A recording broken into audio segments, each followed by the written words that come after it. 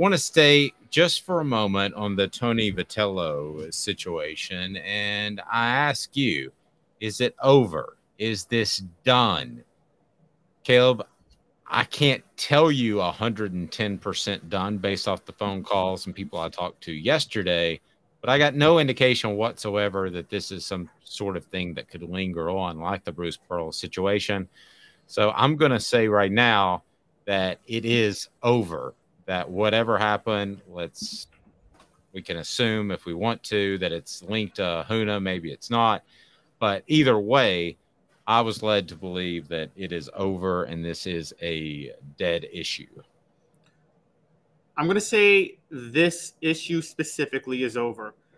I don't think Tony Vitello's done getting in trouble with the NCAA or SEC or the school, whatever you want to name him. I mean, that was his third. Uh, Caleb Jaru has a piece out. You guys all got to go read it on Off the Hooks. Off the Hook Sports. Jaru does a great job with us. He does a lot of our baseball coverage along with recruiting coverage, and he's got a piece up right now on just Vitello's history of suspensions. So he ain't done getting suspended. I'm going to tell you all that right now. well, that actually leads us to four downs, and it's brought to you by Campbell Cunningham, Taylor, and Haun. They fix my eyes. I can see far away like an eagle. They are fantastic, and they're local. Campbell Cunningham, Taylor, and Haun right there in Knoxville, whether it's LASIK surgery like I had or you want to deal with uh, cataracts. Remember, Campbell Cunningham, Taylor, and Haun.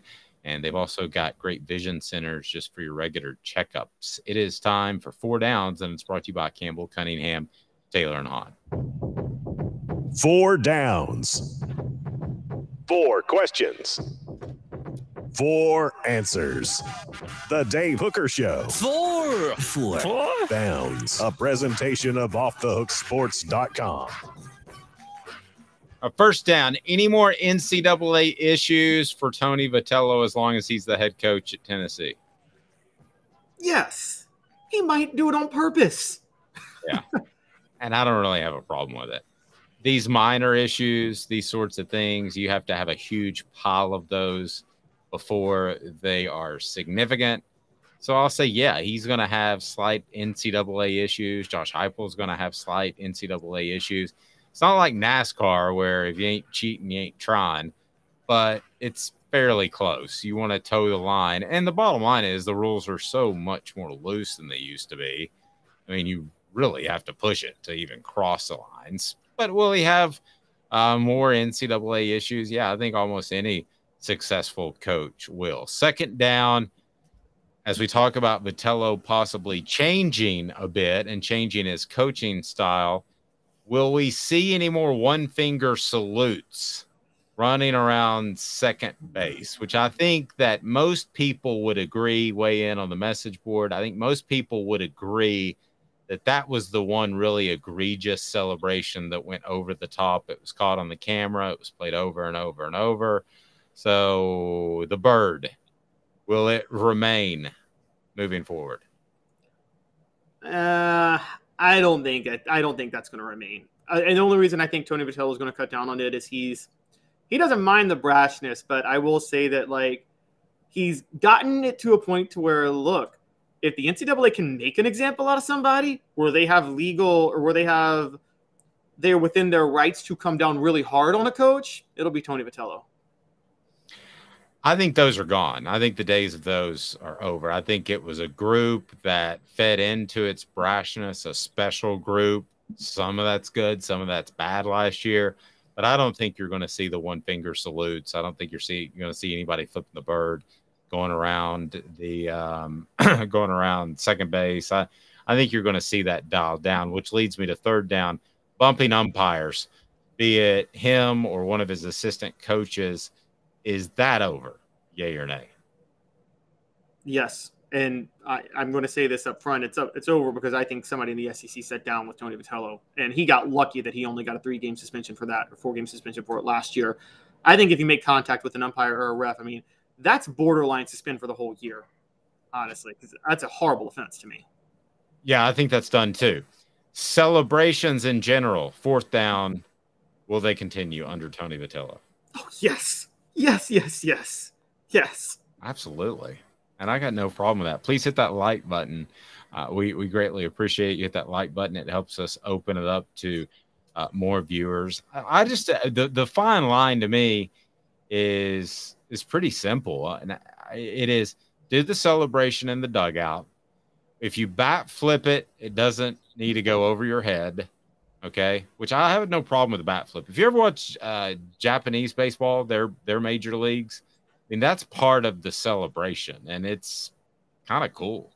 Um, but until that changes in the United States, the bat flip thing needs to be lower than your shoulders, no more one finger salutes, and celebrations are just fine by me. I got zero problem with it whatsoever. It just, there needs to be some sort of line you in the sand that you can't cross or you don't cross. And I think that's the, the next big bat step. flip though I mean, like this. I'm sorry, but worrying about a bat flip. This is why baseball has fallen behind football and basketball in popularity in America, among other things. Is, I mean, this would be like, again, we act like that.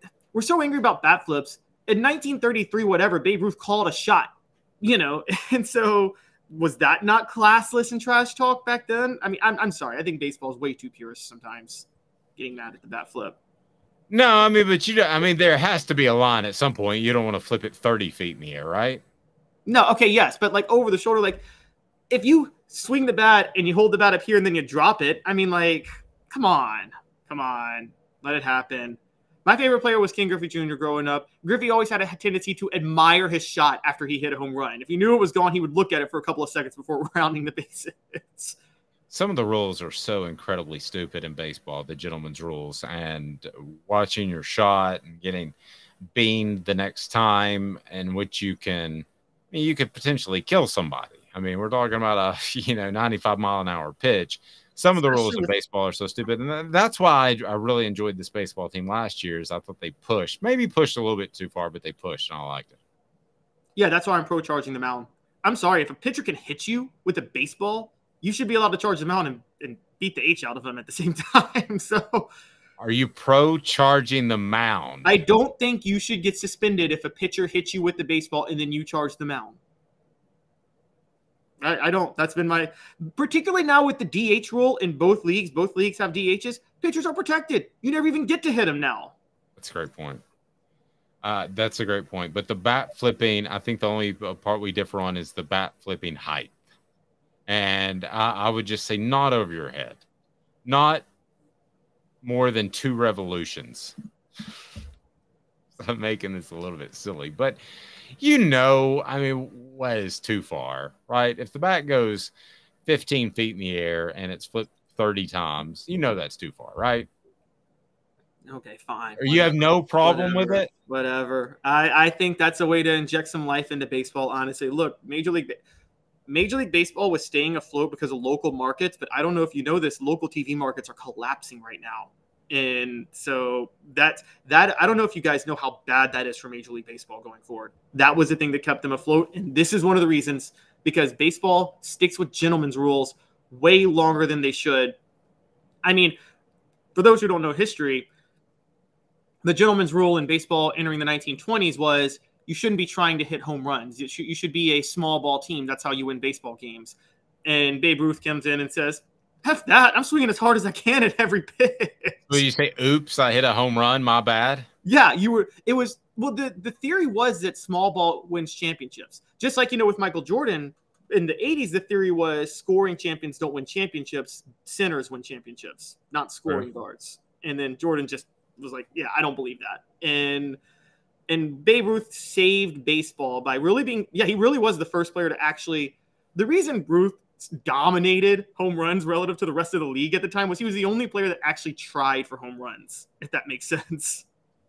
Love it. Did not know that. I know that they didn't have a fence for a long time. They just had a big huge field. And you imagine an outfielder uh, having to cover just like a 450 foot fence and be out there and um, that sounds absolutely horrible. Xul Beer, xulbeer.com. That's the official craft beer of Off the Hook Sports. Tell them the Off the Hook Sports sent you, and you will love it in downtown Knoxville. They've got parking, believe it or not, at uh, Xul Beer, xulbeer.com, worldwide award winning craft beer. So at the end of the day, based off four downs, we've come to this conclusion that Tony Vitello needs to and will tone it down just a little bit.